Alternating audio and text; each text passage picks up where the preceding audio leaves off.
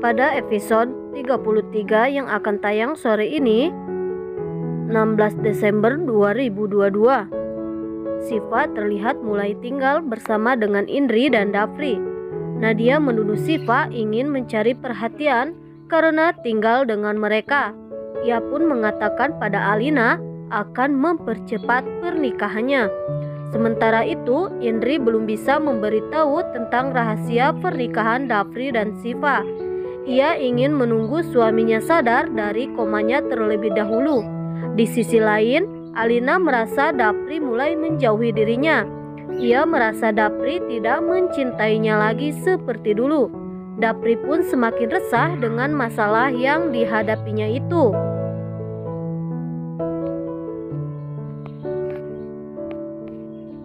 Namun ia mengaku tidak bisa menikahi Alina sebab sudah bersama dengan Siva.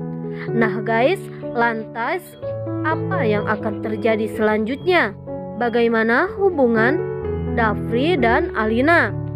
Tentunya kalian pasti penasaran dengan alur cerita selanjutnya ya guys.